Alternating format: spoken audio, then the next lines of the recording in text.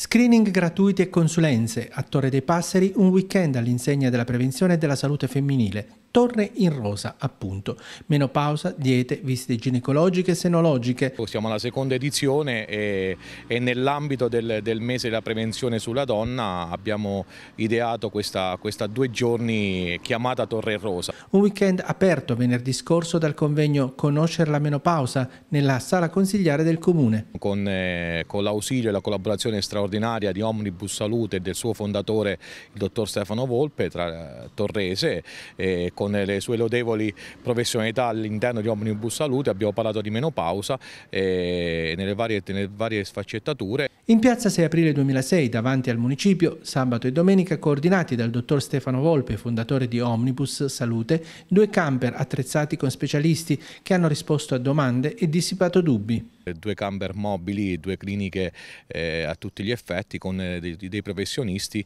e sette screening da poter, eh, da poter fare in maniera gratuita.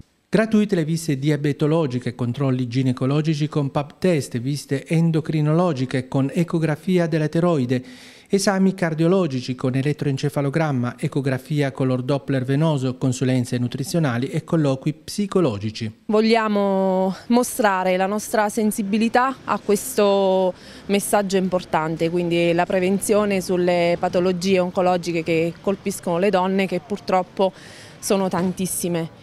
In piazza anche l'autoemoteca dell'Avis Comunale, coordinata da Antonio Di Benedetto per una raccolta straordinaria di sangue.